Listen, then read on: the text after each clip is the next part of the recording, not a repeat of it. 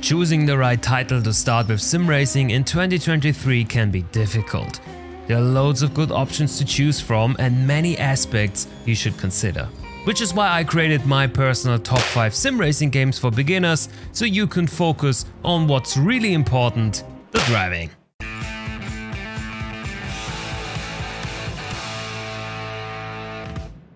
Before we start, just a short reminder, this is not a list to rank the best sim racing games ever. This is a list for beginners to find the perfect game to start with. We want good physics, we want good graphics, we want an easy starting point and good online and much more. And that's what we're gonna talk about in just a second. If this list helps you in any way, shape or form, don't forget to leave a like and subscribe to the channel so you never miss any of our new uploads and also ring the bell for mobile notifications.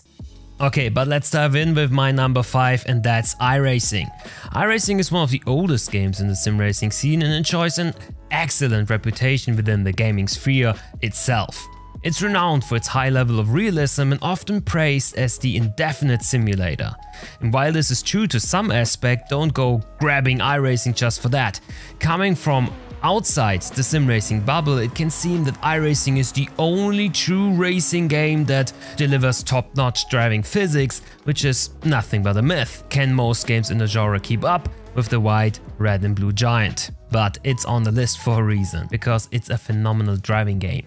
iRacing trumps with its super diverse roster of cars, featuring realistic GT3, GT4, Le Mans Hypercar and Formula driving next to many other racing categories like NASCAR nobody else features. Although the graphics might be a bit outdated, car models and track surfaces are super realistic, is everything in the game built from the ground up with real life data.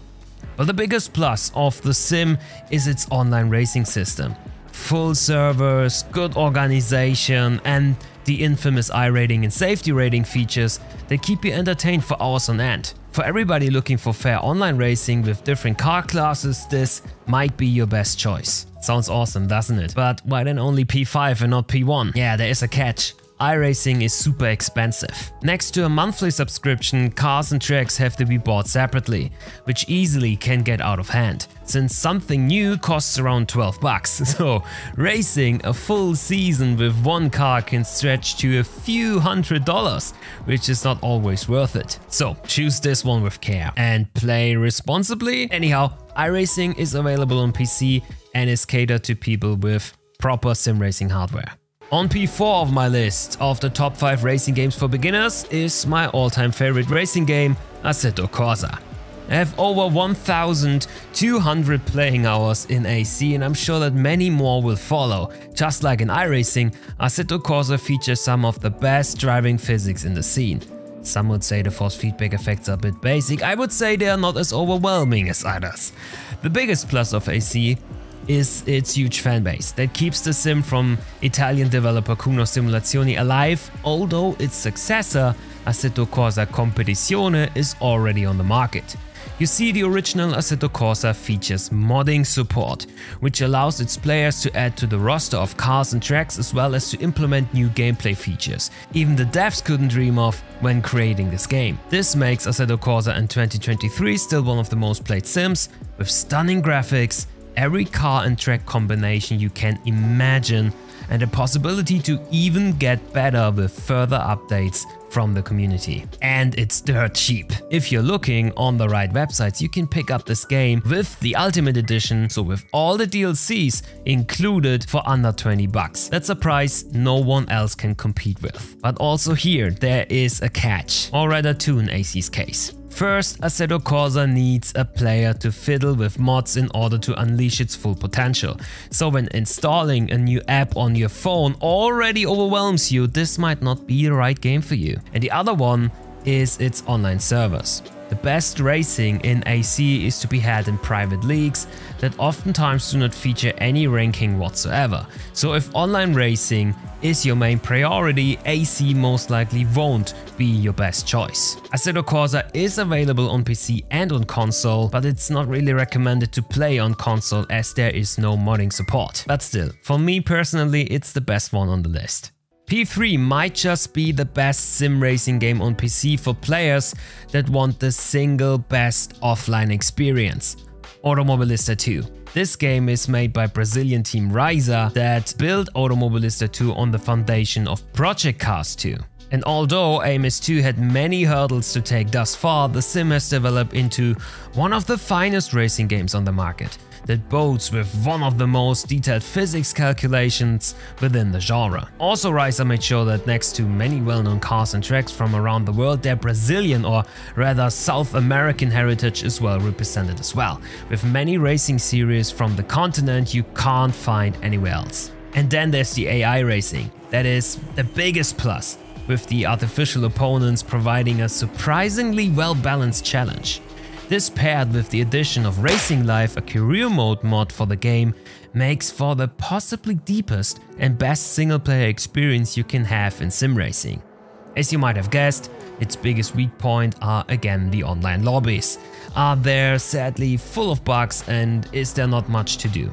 But Reiza already said that they are working on those issues and who knows, maybe that will finally make AMS2 as popular as it should be in the near future. Automobilista 2 is available on PC and best enjoyed with proper sim racing hardware. On P2, I finally got something for our consoleros. Okay, only for 50% of them as Gran Turismo 7 is only available on PlayStation. Many would say that the new GT release from 2022 doesn't really count as a fully fledged racing simulator as it's optimized for a gamepad. But I would say it's the best and easiest starting point for anyone not in possession of a gaming PC and sim racing hardware. You can pick this up on a gamepad and still feel like playing the real deal. That's how good it is. This game can be your gateway into wanting more and rethinking about your platform of choice. Overall, GT7 does a phenomenal job in entertaining players with loads of cars and tracks, a fun single player mode and an online ranking system. And yes, every of those modes has some flaws in itself, but they're still entertaining and pretty fun. And for everybody thinking about getting their first ever sim racing wheel for this, do it!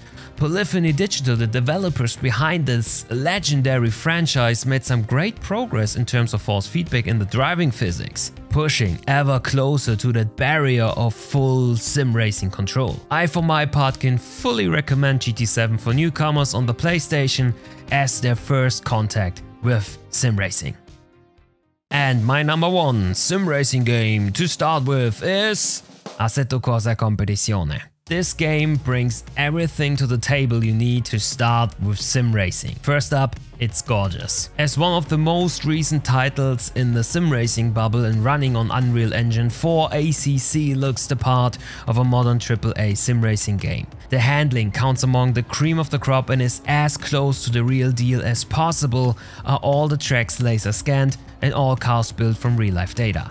Assetto Corsa Competizione is the official game of the GT World Challenge and is also used by the real-world drivers to prepare for upcoming races, comparatively to its predecessor Assetto Corsa, Assetto Corsa Competizione, so ACC, doesn't have mod support, which makes it way easier to pick up and just go and start playing. Online is also a strong suit for the sim. Is the online competition system low fuel motorsports equipped with everything that made iRacing so successful just in a newer packaging. Servers are full, racing is mostly fair and the built-in ranking system keeps you motivated to keep on grinding. The only downside to ACC is its roster of cars and tracks. This is an official game to a real-world driving series, which is why it only features cars from those series. GT3 Racing stands at the focal point in ACC, with some cup cars and the GT4 roster playing a minor side role. But that doesn't have to be a bad thing, as GT3 cars are quick, offer a huge variety of different manufacturers and are overall pretty easy to drive but hard to master. So in my eyes the perfect combination to start sim racing with. What do you guys say? Do you agree with my list or um, do you have completely other games on yours? Let me know in the comments down below. And if you decide on starting with ACC, maybe also check out this video I did where I explained some basic training tips to get started. But that's it from me today. Thank you so much for tuning in. See you next time around. Cheers!